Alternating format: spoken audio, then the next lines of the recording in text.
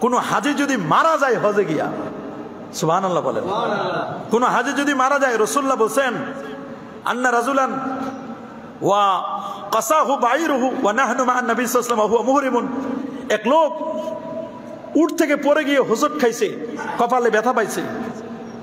এই অবস্থায় যে সে মুহরিম ছিল ফকাল নবী সাল্লাম লোকটা শেষ পর্যন্ত মোহরেম অবস্থায় কপালে আঘাত পেয়ে মাথায় আঘাত পেয়ে মারাই গেল হাজি সাহেব, মোহরেম অবস্থায়। আল্লাহ নবী বলেন এগে সেলুহু বেমাইন ওয়া সেদরিন বড়ই পাতার বড়ই পাতা আর গরম পানি একটু দিয়ে তোমরা একে গোসল দাও। সুবহান আল্লাহ বলেন। বড়ই পাতা দিয়ে, ওয়া সেদরিন বড়ই পাতা এবং পানি দিয়ে তোমরা গোসল দাও। ওয়া কাফেনো ফি সাউবাইনে আর তোমরা দুইটা কাপড়ে তাকে কাফন দাও। ওয়ালা তুমি সুহুতিবান তারে তোমরা সুগন্ধি দিও না। সুবহান আল্লাহ কারণ এহেরাম অবস্থায় সুগন্ধি ব্যবহার করা যায় না। শরীরে যদি এহেরাম থাকে, তাহলে কি সুগন্ধি ব্যবহার করা যায়? রসুল্লাহ বলেন, সে মারা গেছে, কিন্তু তার এহেরাম এখনও জেন্দা। সুবহান আল্লাহ বলেন। এই অবস্থায় তাকে সুগন্ধি দিও না। আমরা তো মাইয়েদেরকে কাফুর দিই, সুগন্ধি দিই। রসুল্লাহ বলেন, তাকে সুগন্ধি দিও না। ওলা তুমি সুহুতিমান ওলা তুখাম্মিরু রাসাহু। আর এরম অবস্থায় মাথা ঢাকা যায় না, তার মাথাটা ঢেকে দিও না। ফাইন্নাল্লাহ ইয়াবাসু ইয়াউমাল কিয়ামাতে মুলাব্বিয়ান। কিয়ামতের ময়দানে সে তালবিয়া পড়তে পড়তে আল্লাহর সামনে উঠবে। ওই অবস্থায় ইহরামের কাপড় পরে উঠবে। লাব্বাইক আল্লাহুম্মা লাব্বাইক লাব্বাইক লা শারীকা লাক লাব্বাইক।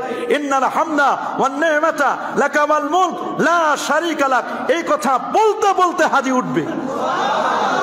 আল্লাহু আকবার আল্লাহু আকবার। এরকম একজন যিনি মারা যান, হজ করতে গিয়ে তার যে কত ফজিলত সুবাহান আল্লাহ সুবাহান আল্লাহ আল্লাহ রসুল বলছেন, যারা তোয়াফ করে, মান তফাবে হাজাল বাইত উসমান যে ব্যক্তি আল্লাহর ঘরে এক সপ্তাহ তোয়াফ করে, পঞ্চাশ বার যদি তোয়াফ করে, তার জীবনের কোনো গুণাই থাকে না। আল্লাহর ঘরের উপর তবরানি শরীফের হাদিস, ইনসিমুল্লাহ কুল্লায়মিন আলাল হাজ্জে বা আলা হুজ্জাজে বাইতিহিল হারাম। আল্লাহ তাআলা কাবা ঘরে যারা হজ করতে যায়, তাদের উপর প্রতিটি মুহূর্তে আল্লাহর পক্ষ থেকে রহমত নাজিল হয়। একশো বিশটি রহমত। কয়টি? সেপ্তিন আলী তোয়াইফিন তার মধ্যে ষাটটি রহমত নাজিল হয় যারা আল্লাহর ঘরে তোয়াফ করে। সুবহানাল্লাহ বলেন। আল্লাহর ঘরে যারা কি করে? তোয়াফ করে, তাদের উপর ষাটটি রহমত নাজিল হয়। ওয়া আরবাইন আলিল মুসাল্লিন।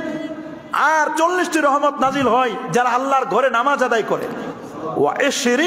নাজিরিন আর যারা আল্লাহর ঘরটার দিকে শুধু তাকাই থাকে, তার উপর আল্লাহ তালা বিশটা রহমত নাজিল করে আল্লাহ আকবর আল্লাহ আকবর।